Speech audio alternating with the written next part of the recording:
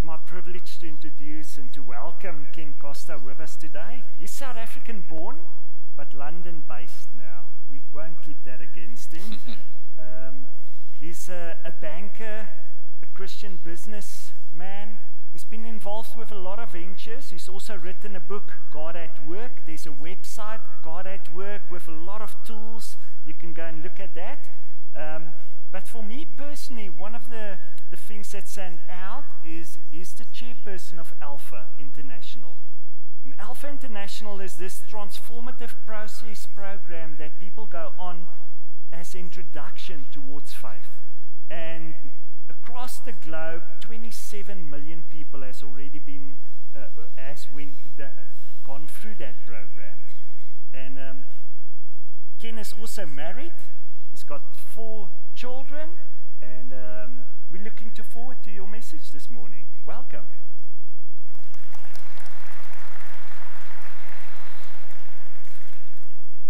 Baie dankie, uh, Tiaan. Uh dis vir my 'n besondere voorreg dat Johan my genooi het om julle gemeenskap toe te spreek. Ek was so beïndruk met my ervarings tydens my besoek hier dat ek opgewonde was toe hy my gevra het: "Julle geloof, julle vertroue in Jesus Christus, julle gemeenskap geloof en julle leierskapspan is waarlik indrukwekkend." Daar is egter 'n ander rede. Ek's immers 'n plaasjapie. Ek het groot geword in 'n plaasskool in 'n hoofsaaklik Afrikaanse deel van die land. En ek het nie ooit gedink dat ek 'n publieke toespraak in Afrikaans sou gedoen. Afrikaans is nie my voertaal nie. So hierdie is maar 'n paar woorde waarmee ek probeer spoggerig te wees om te sien of ek dit kan hanteer, oorleef of bemeester. Maar ongeag die taal, ongeag die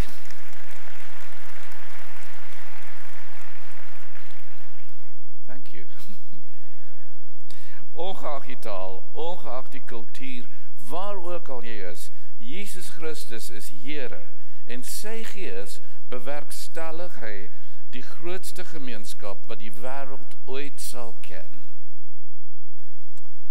Don't worry, I won't torture you anymore. Was that okay? Well, it's nice to get a clap. I'll do it again. Shall I still? So I was, uh, I told you I grew up in a farm school. And uh, we in the Bible class, uh, Miss Hubert was uh, telling us about his die sonvloed. En hoe dit vir 40 dae en 40 nagte aanhoudend en deurdringend gereën. When Jannie de Pre puts his hand up and said, Juffrou, was die boere toe tevrede?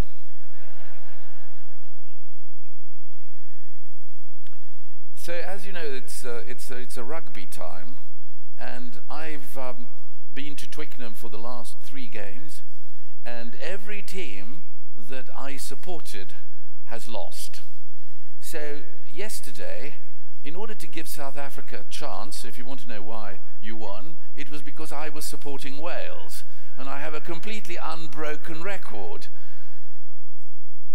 Now, as you know, when when nasty things happen, you know, when dare I remind you, when South Africa lost to Japan, or when England lost, um, the, the social media goes mad, and you know, you get pictures and you get stories get sent to you.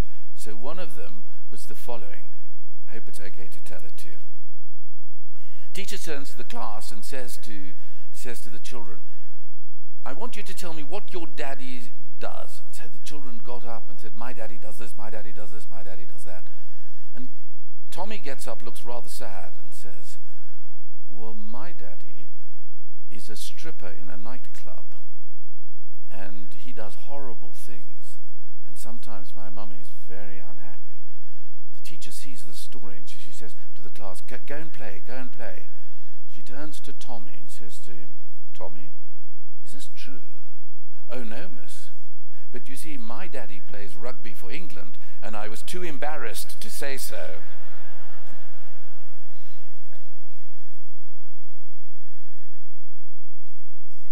and um, I want to talk about little and large. Little acts have large effects. And while we're talking about rugby, I want to just mention to you that where rugby started, started in rugby school in England, uh, when William Webb Ellis, which of course is the name of the World Cup, um, while he was playing soccer, football, um, did something completely against the rules. He picked up the ball. And maybe you remember this clipping.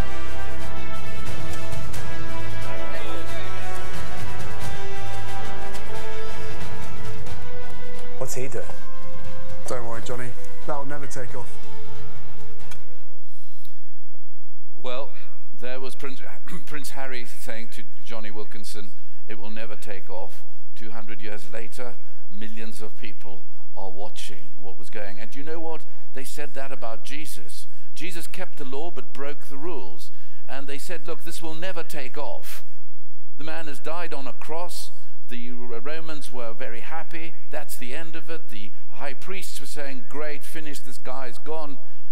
And that was the end. And yet, Jesus Christ is alive today because it did take off.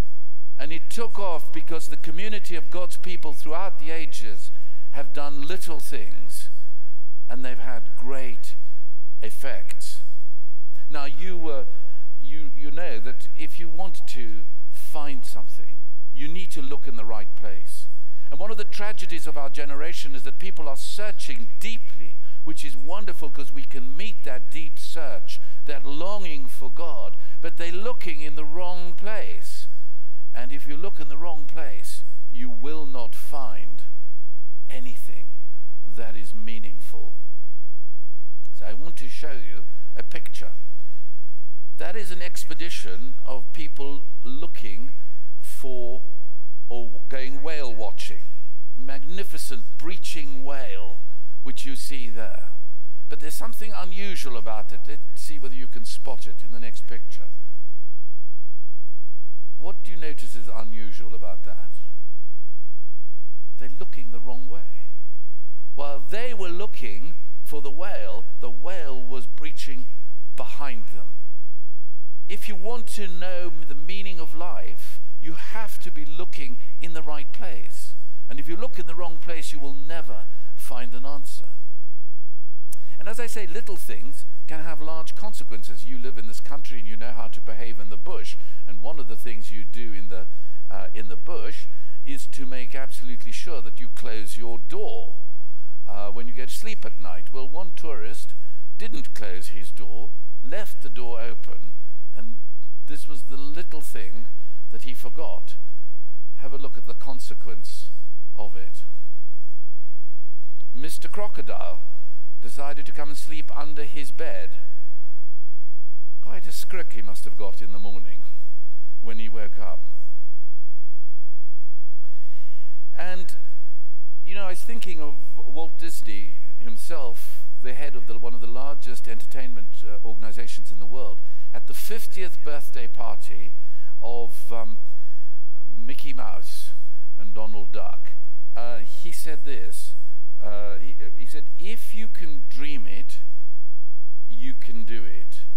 But always remember, it started with a dream and a mouse. It started with a dream and a mouse. It started with the smallest creature you can imagine, but a dream. Now, I know that you have, an, this is an amazing church, and Tim, who's been traveling with me, uh, we've been just mind blown by just the number of things that you are doing in this place. Uh, Gert was telling us last night that a generous donor donated a, a quad bike, and that quad bike enabled a paraplegic pastor to plant nine churches in Mozambique. Isn't that amazing? A small thing, a small act, but a large effect. And I know that you have great visions, and your pastor's are a remarkable man, and you have wonderful big visions, and that's wonderful that you should do so. But I want to ask you if you will just allow me for today to ask you to have a small one. Because I want to talk about small things that make hope grow. It's amazing that you're doing the series on strengthening hope. But it starts by looking at some of the small acts which have large effects in the economy of the kingdom of God. Always, small acts have large effects because God is interested more in the attitude of your heart than in the act of your hand.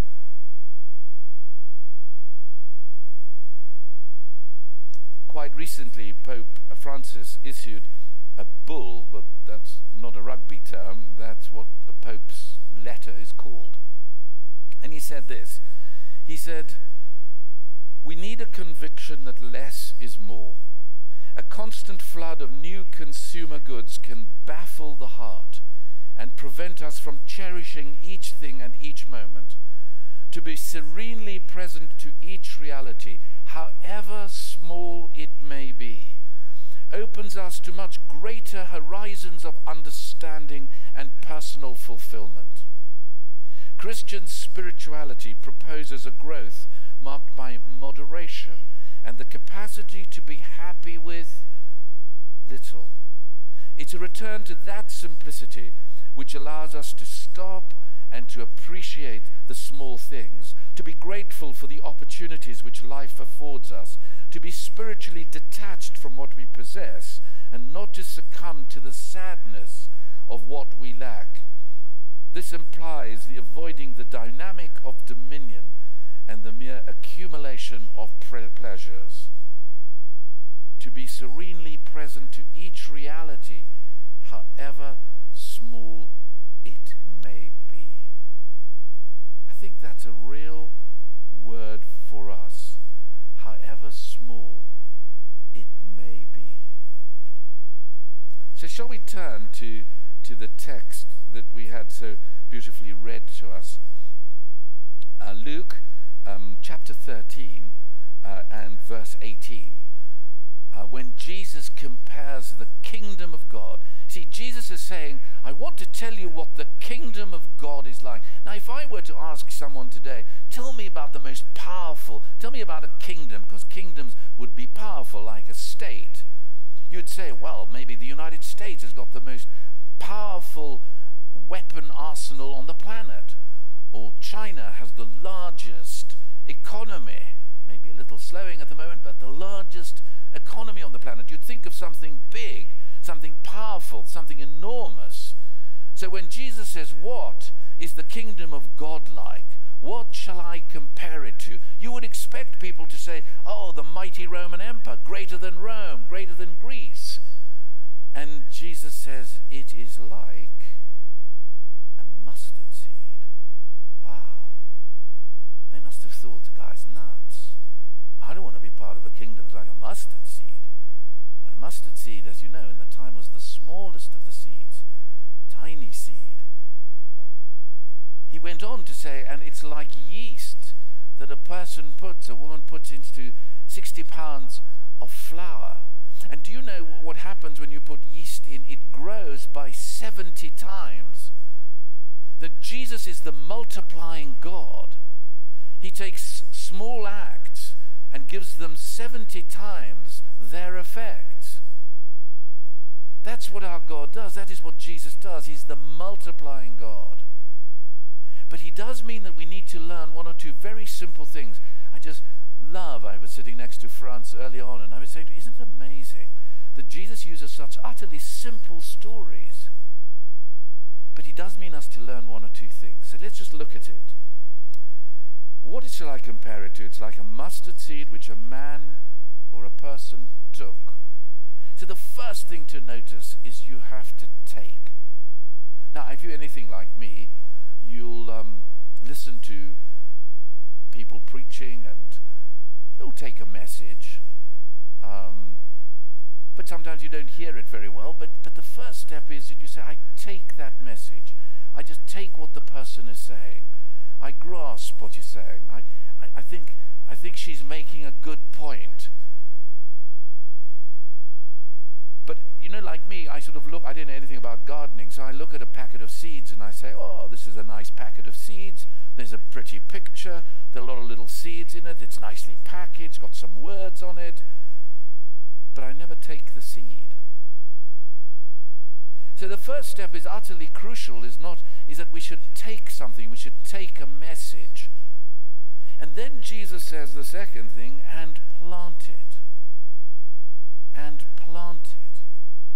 It's no good just to take a message, to hear a message.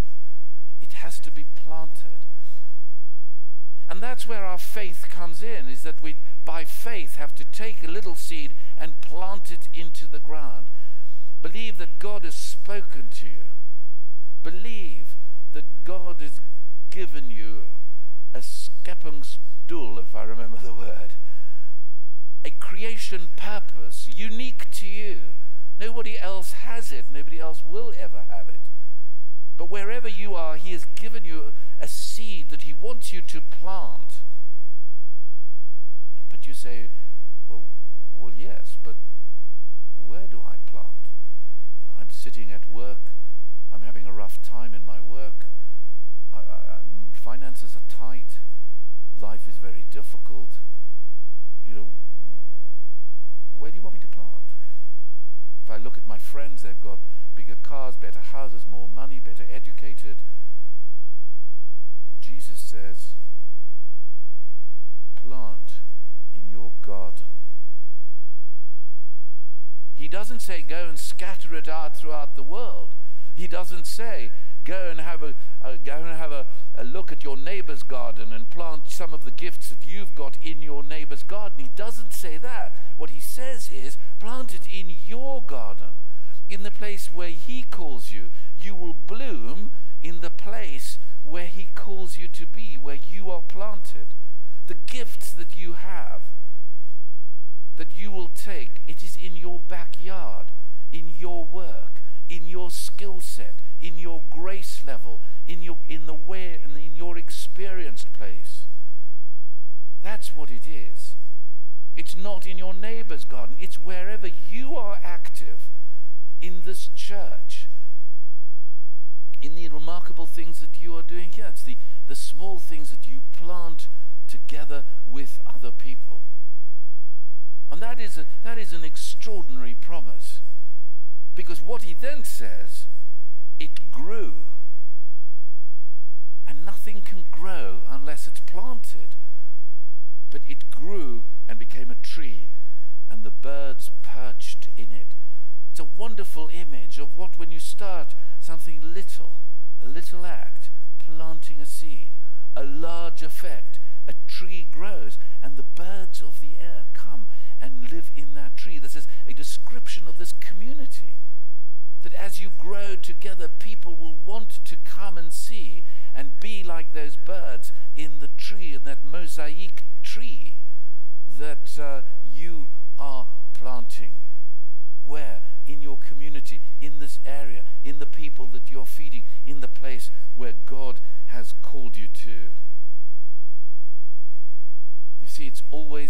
acts that show the attitude of the heart. The little acts.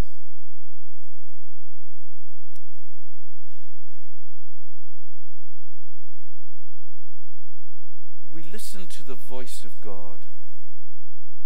A little voice can have a large volume. You remember Elijah in chapter 19 of the book of Kings. Elijah was depressed. Jezebel wanted to kill him. The prophets were, were the false prophets were at him. And you know what he, he was saying? He rushed to a cave. And in that cave came the wind and the earthquake and the fire. Do you know what it's like sometimes in life when we see the winds of change in our workplace? We don't know how to cope with them. The earthquake of uncertainties, of finance, bereavement, ill health, and distress, the fire of temptation and, uh, and doing the wrong things that come at us. There's a lot of noise, there's a lot of stuff in our lives.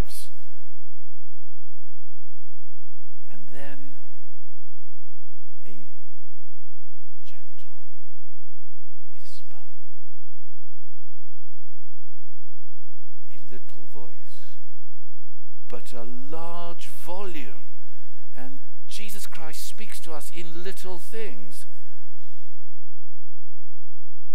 Just think of a of Elijah again. Elijah had promised that rain would come, and he goes out waiting on a mountaintop for the rain to come.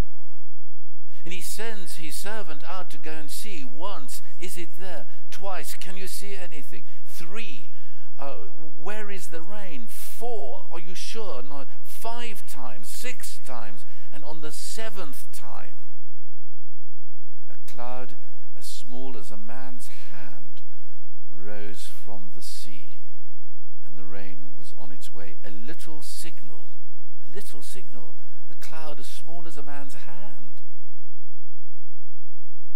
But a, a little sign, but a large signal. And so often in our lives, there are little signs that give large signals. I remember when I was working on a very complicated financial transaction with a colleague of mine, and we were utterly stressed uh, in, in, in doing it. And I just said to him, Pete, do you want to come for a walk across London Bridge? That's all I said. I didn't necessarily tell him all the good news of Jesus Christ at the time because he needed, as I did, just to know that somebody was interested in walking him over London Bridge and walking him back across London Bridge. It was a little sign. Twenty years later, he said it was the large signal of his life that somebody was interested in him. Honestly, I didn't do anything. I just walked across a bridge. But little signs have large signals. A little risk has a large reward. You know the parable of the talents when the, the servants came and they, they took the risk to see the investment return. It was a little risk they had to take. Definitely a risk. You cannot see an increment if you're not prepared to take a risk. Your faith cannot grow without a risk being taken. The risk of taking the seed and planting it. That's the risk. You don't know what the, whether the tree will grow, but you've got to trust that God will let that tree grow. A little risk, a large reward. My good friend is, is Rick Warren. He wrote a book called uh, The Purpose Driven Life. It's the largest selling book in the English language non fiction other than the Bible.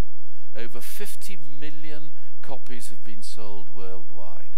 And I said to Rick, I said to him, Rick, surely you, when you came into these vast uh, amounts of money, it must have unsettled you. you know, you're a pastor, really, not used to sort of these sums of money.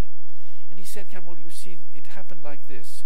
When we got married, Kay and I decided that every year we would tithe our, our money. But every year we would add a little more. And we did that for 30 years. And in the 30th year, nobody knew about this, only the two of them knew. In the 30th year, they were reverse tithing.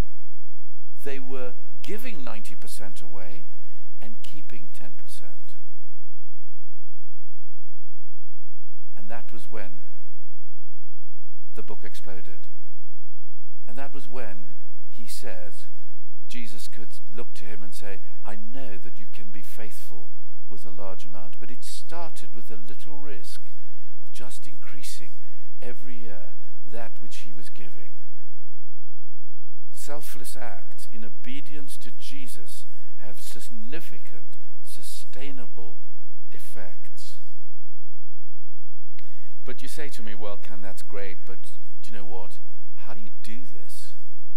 How do you do this? This is a tough world. You don't have to tell me about stress, and I don't have to tell you about it. We know about it. It's tough out there. So here's a few practical things that I've found helpful for myself. The first is start small. Don't have some great big vision of what you can achieve. Just for the moment, start small. Plant a seed. Ask the Spirit of God to let you know what it is that you uniquely have. You can come alongside a friend, talk to a neighbor, help somebody at work, forgive somebody who's irritating you in your workplace. You can give of your finances, of your time, of your energy that will build hope. Start small. Second, stay at it for six weeks. Why six weeks? Because that's what psychologists tell us. You need to establish a habit or to break a habit. And then thirdly, do it step by step. Don't just make some great big gesture. Step by step. I had the great privilege of watching Andy Murray play at Wimbledon when he was at Centre Court and won, uh, won Wimbledon. And afterwards, there was this interview all with Murray. Uh, and they asked him about the match uh, and how he'd beaten Djokovic. And he said this I think I persevered. That's really been it. It's the story of my career. I had a love, enough of, I had a lot of tough losses. But the one thing I would say is I think every year I improved a little bit. They weren't major improvements, massive changes. But every year my ranking was going in the right direction. If you keep improving steadily and you aren't distracted by setbacks, you're bound to win eventually. Steadily. Little by little.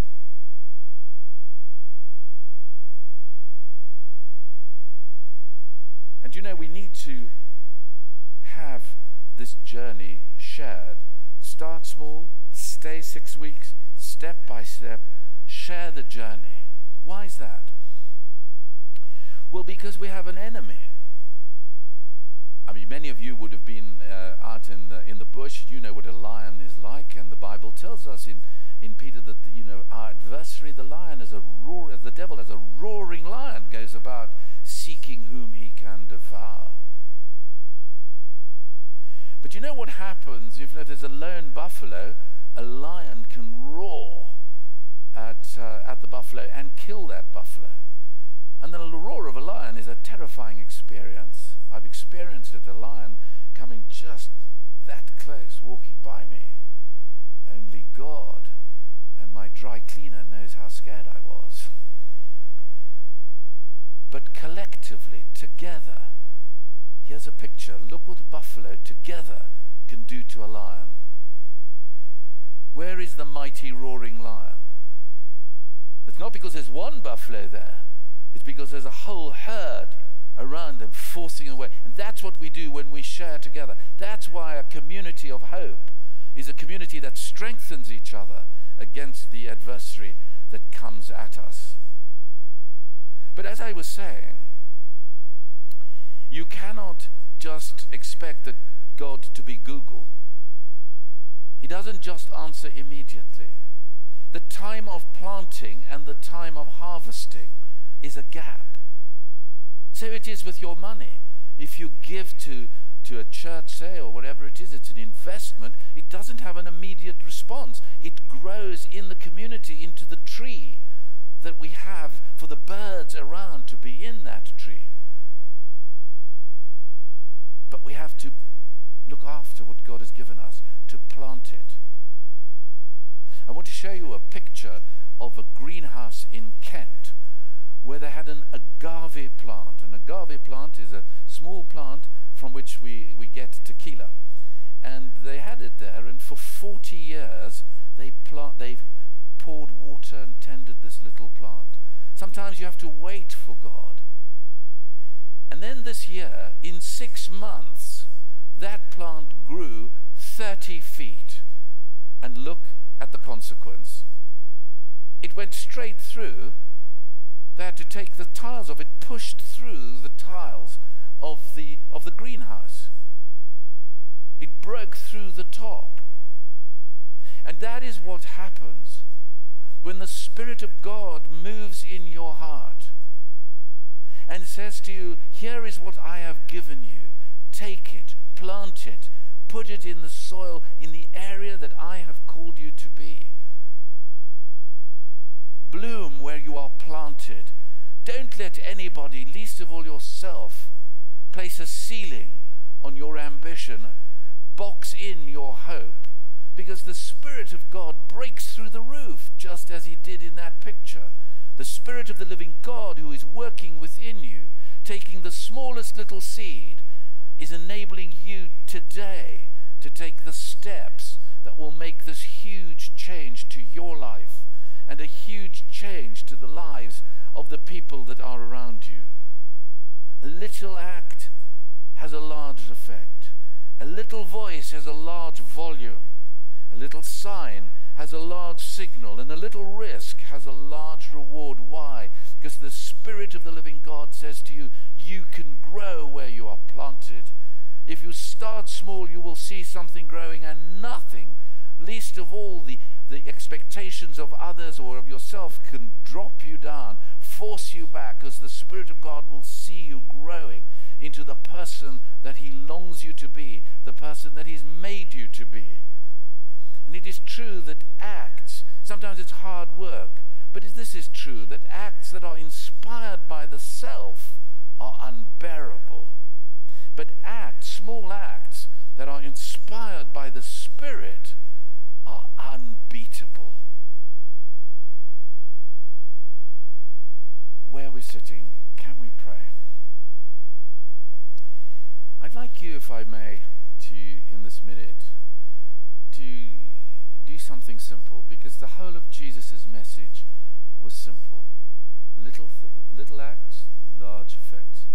Perhaps you could, just where you are, press your thumb and your forefinger together, pretending for the moment that you have a little seed in there and just hold it firmly. Take it.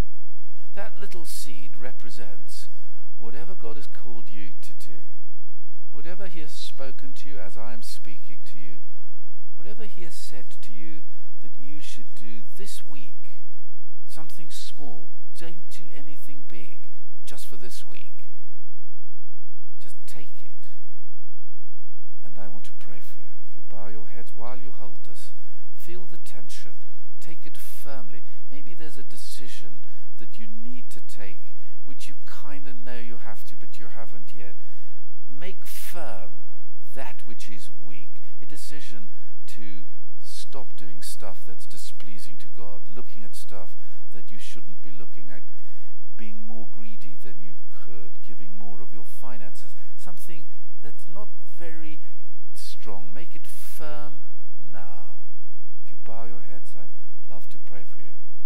Father God, in the name of Jesus, I pray that you would touch each and every person here by your Spirit, that you will enable them to plant the gift that you've given them specifically to you. No one else has it. To be the person that God longs you to be. Come, Holy Spirit, come. Make Jesus real in the lives of each person here so that we can see this tree of life, this tree of this community in Mosaic grow to a place where the birds, the people around can find help, can find uh, love, can find hope because your people have been faithful. We ask it in the name of Jesus Christ.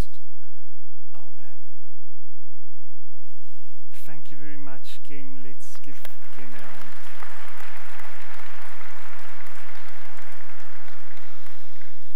As jy behoefte het aan persoonlike gebed of selfs dat iemand saam met jou moet bid, die Klipkerk is beskikbaar as 'n spasie en as ons hier klaar is, is jy welkom om soontoe te gaan.